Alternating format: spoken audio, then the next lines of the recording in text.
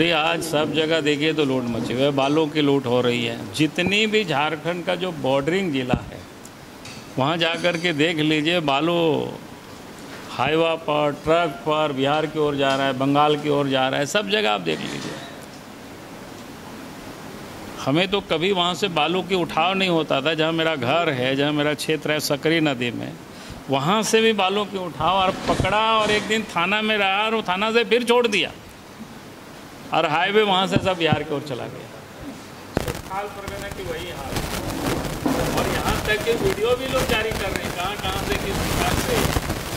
को लोग टपा रहे हैं, पत्थर को लोग रहे हैं वो किसी से छुपा हुआ नहीं भाई।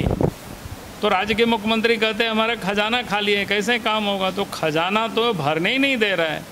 जिस पैसे से, जो टैक्स से पैसे आते हैं, वो तो सब इलीगल यहाँ से बाहर जा रहा है। अपने खजाना भर रहा है, लेकिन राज्य सरकार का जो ट्रेजरी है, वो खाली पड़ा हुआ है। लूटा, लूट हो रहा है तो कहाँ जा रहा है पैसा? मजाल किसी दरोगा की हिम्मत होगी, थाना से कोई गाड़ी छोड़ देंगे। मजाल किसी कोई डीटीओ की होगी डीसी की होगी कि अगर बालू और यहाँ से पार हो जाएगा। यहाँ तो एक ट्रैक्टर बालू अपने घर बनाने के लिए लोग ले जाते हैं तो उसको तो पकड़ करके केस कर देती है। और यहाँ तो बड़े बड़े हाईवा से जा रहे हैं, बाहर जा रहा है।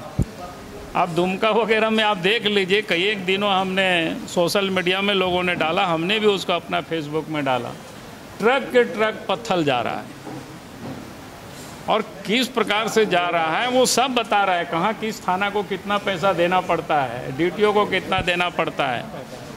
दो नंबर का चलान बनाता है, वहाँ कितना पैसा देना पड़ता है।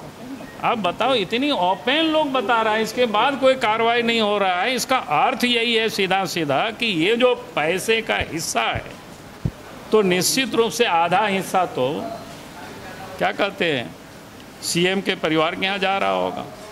तभी इतना कोई अफसर दुस्साहस कर रहा है, तभी इतना माफिया लुटेरे लोग दुस्साहस करेगा। नहीं तो कर ही नहीं सकता सवाल ही नहीं पैदा हो सकता।